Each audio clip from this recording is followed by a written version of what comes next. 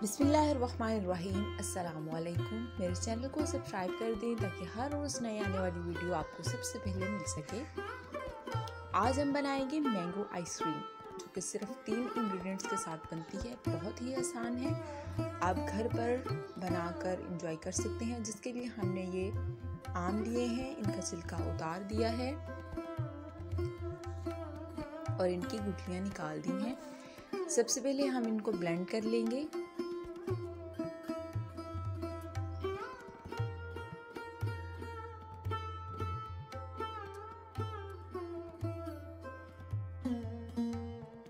सभी आम अच्छे से ब्लेंड हो चुके हैं। उनको हमने बाउल में निकाल लिया है। अब हम इसमें कंडेंस मिल्क ऐड करेंगे।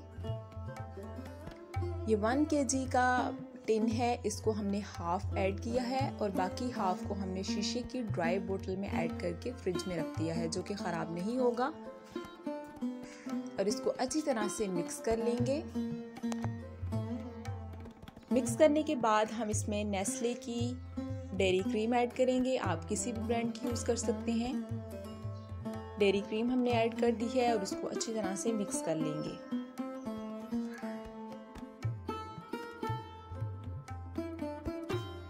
इसके बाद हम इसमें येलो फ़ूड कलर ऐड कर देंगे और इसको भी मिक्स कर लेंगे अच्छी तरह से।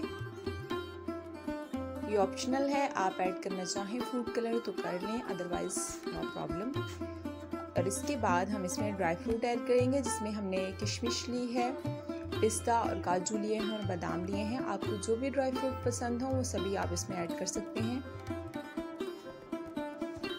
सबसे पहले हमने इसमें किशमिश ऐड की, साथ ही हमने बादाम और काजू ऐड कर दिए हैं। और इसके अलावा पिस्ता ऐड किया है। और इसको मिक्स कर लेंगे।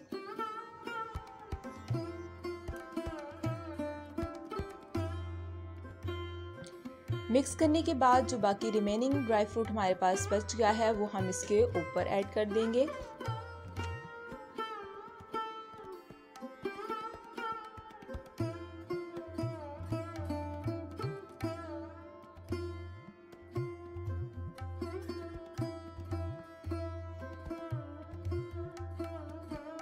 और ये मुकम्मल तौर पर आइसक्रीम का मिक्सचर तैयार हो चुका है। इसको ऊपर से हम कवर कर देंगे अच्छी तरह से।